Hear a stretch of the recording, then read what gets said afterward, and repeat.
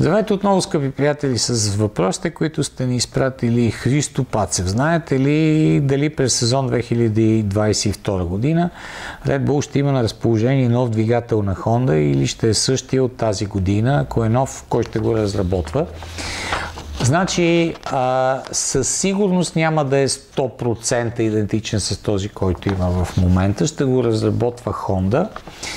До каква степен обаче ще е различен е трудно да се отговори. По принцип, Honda тъй или иначе ще продължи да се грижи за подобряването, за експлуатацията на, на тези мотори, които до година вече няма официално а, да бъдат правени от нея. Ще са си на, а, на Red Bull подписаха едно много специално споразумение, но доколко той ще е различен от това, което има в момента, според мен е много трудно да се каже. Няма да има, примерно, драматична промяна, каквато да речем се очаква в Алпин, които трябва да разделят компресора и турбото, пред и зад блока на двигателя, така както е при Mercedes, както е при Honda.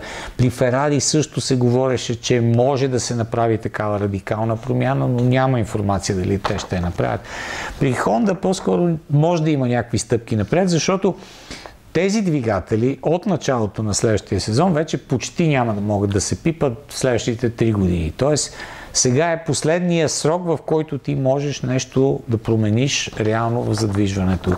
Honda обаче реално инвестираха цялото си развитие, всичко, което имаха като идеи за подобряването на, своето, на своята задвижваща система тази година. Примерно батерията беше сменена за спа, някъде в края на лятото беше готова, цялата система на конвертиране на енергията, на използването на електрическата енергия. Тези неща реално бяха планирани за тази стъпка сега между края на 2021 до 2022 година, но те ги интегрираха вече в а, задвижването в а, голямата битка с Мерцедес.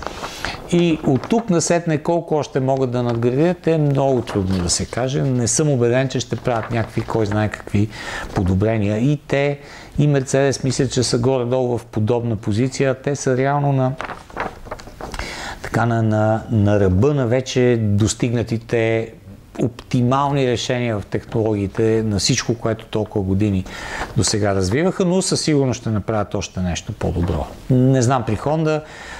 Най-интересни за мен от четирите така задвижващи системи в момента са подобренията при Alpine и това, което ще направи Ferrari, защото Ferrari е окей, те електрическата система, примерно, интегрираха вече в края на този сезон в автомобилите, интегрираха някои други компоненти, но самата конструкция, ако променят, за да свият автомобилите, пак казвам, имаше много сериозни а, така, коментари, че това ще се случи, но те стават все по-слаби, защото сега една генерална промяна в а, конструкцията води до със сигурност детски болести, които ти трябва да изживееш, а това значи половин година поне, или ако, не дай Боже, нещата пък съвсем не се получат, както стана с Honda, а, риска е много голям. Не знам дали Ферари ще рискуват да така генерална промяна. При Honda поне сигурност няма да има нещо подобно.